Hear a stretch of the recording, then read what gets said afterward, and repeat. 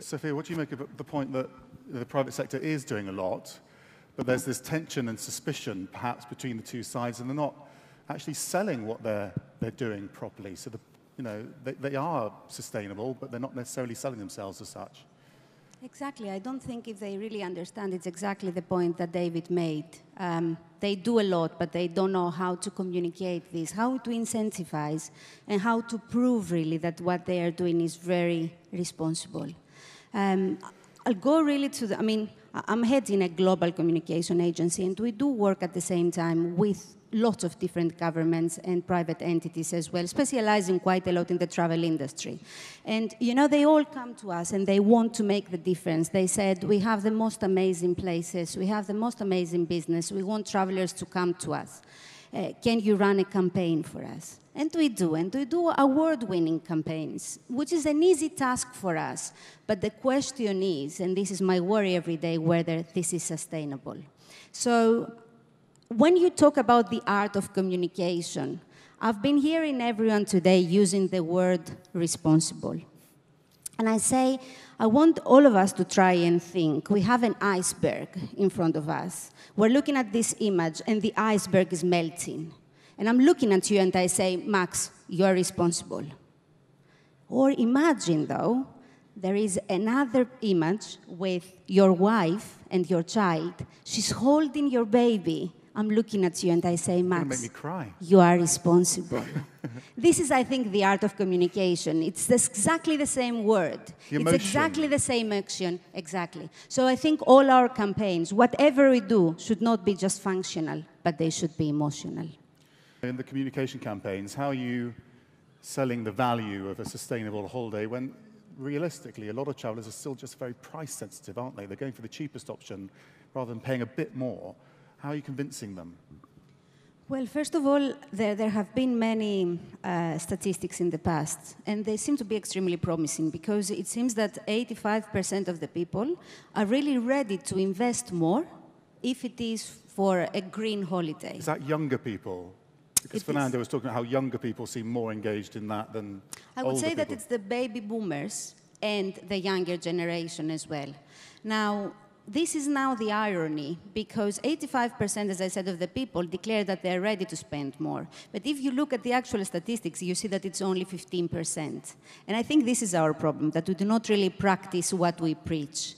I keep on saying that we have three categories of people. We have the deep greens, the lazy greens, and the non-greens. The non-greens, thank God, they are the smallest percentage. The largest one, though, is the lazy greens, which, as I say, they although care, they but want, they're not acting on it. Exactly, they're not acting. And in order for us really to be able to have successful campaigns, I say, do we want an eco-friendly tourism? The only way to move this forward is by implementing ego-friendly campaigns. And an ego-friendly campaign means something that will incentivize, as I said, people to invest their time and soul as well into green uh, campaigns, into green actions. And when I say for them to feel that it is good for themselves, for their, for their ego, again, it's the same thing. The first one is how can they save money? So, ask the governments, how do we really prove to the uh, private entities that if they start implementing eco-friendly policies, then they will uh, risk their reputational uh, risk, uh, they will reduce their costs, they will respond to the consumer's demand, and they will have much more profit coming in for a long term. Well, is the answer perhaps shaming unsustainable projects? I know it's very negative, but rather than promoting sustainable work, saying actually this is a really good option to go for instead of that one. I know everyone's afraid of that in the industry, but once again, I think this is the thing, how do we present the things? We should never be making, feel people, uh, making people feel guilty. We should be making people feel that they are part of something really amazing. And what I keep on saying, you know, to most of the conference I'm speaking to, is that all of us, in the end of the day, we're here because we think that we're doing something which is amazing, and we're playing a small part out of it. And in the end of the day, if you think about it from a younger boy to an older man, they all have a soul. And I say all the renewable energy that we're looking for out there, in the end of the day, starts from here from the energy mm. of our heart. And to make it a bit pro- more practical so that I'm not accused that I'm only saying emotional stories, I was reading an article in Forbes magazine the other day, and they were saying that if we really want to have in place all the technologies that we need and the strategies for a renewable uh, future, then we need approximately $1 billion uh, annually to invest, which is, of course, a big amount of money. At the same time, though, if you calculate how many international and domestic trips we have every year, and if you try to divide this amount of money, the 1 billion, for every trip, then each one of us should spend $11 in order to secure our future, which is actually the amount of buying a pizza. So. Sofia, you're talking about how technology and communication is it's all there for you now, isn't it? You feel, but it's not being used by well, the companies. It's, it's, exactly that, Max. The good news that is that we have technologies, we have strategies here and now to use. The bad news is that we do not use them. And what I keep on saying is that behavior change is really the key to sustainability. And the essence of behavior change is communication. I was again reading another article of Bill Gates who was saying that if he was down to his last dollar, he would definitely spend it on communication with his key stakeholders. So this is exactly what all countries should do all our campaigns should have all the green elements in there, but as I said, without making people feel guilty, but by incentivizing them. And how do you do this as well? You do it by choosing people and stories that everyone can familiarize with. These bold stories, and you don't say you are responsible, but you are responsible and you can change this and you can make it happen. I think this is exactly the keynote message that we should all take from here. You know what? I've been thinking while you were speaking before about the earthquake. Um, and let me just say that I am I'm not just happy, I'm proud of working with the Mexican government, uh, which is one of our clients. I can tell you that I think last week I have experienced the essence of technology, of sustainability, but of human power as well. And I'm going to tell you the following. We have an office in Mexico City with 20 people working for us. Um, when this happened, I woke up in the morning, I checked my phone, I watched the news straight away, and I said, Oh my God, are they safe? So I called my team.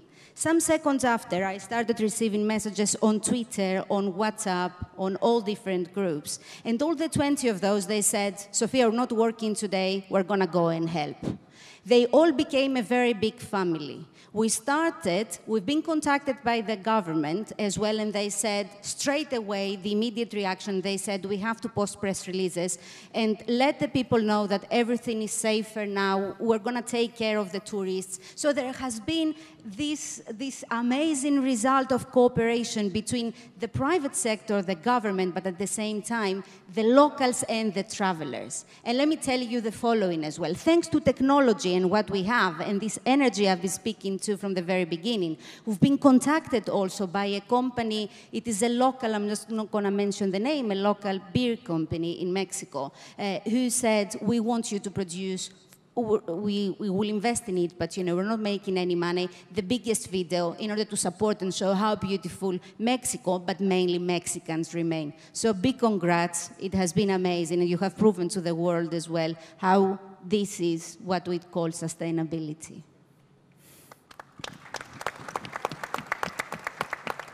Yeah, thoughts very much for the people of Mexico. I just finished with um, what I did earlier, which is really asking you for a thought, really, on World uh, Tourism Day in relation to sustainability in particular. I keep on saying that we are very blessed, and I'm blessed personally because we're working in the, the happiest industry in the world. However, unfortunately, it is an industry as well that it's a victim, but a vector as well. So the only way forward is the decarbonization. Uh, will, will we disincentivize tourism? Will we, can we afford as well with uh, 20 10% almost of the global GDP to lower this growth? No. So indeed, the only way forward is decarbonization. And I keep on saying that all over the world, all the destinations have exactly the same ingredients. We have these seven notes, you know, it, we have do to do. With these seven notes, we create uh, music, we create completely different songs. And it is exactly the same thing. In every destination, we have these seven ingredients. We have mountains, we have sea, we have hotels. The question is how we piece them together and with this note, though, most importantly, think that we need always to have an eighth one, which is our main tone, and this tone is protect the environment, protect the future, protect ourselves. Thank you.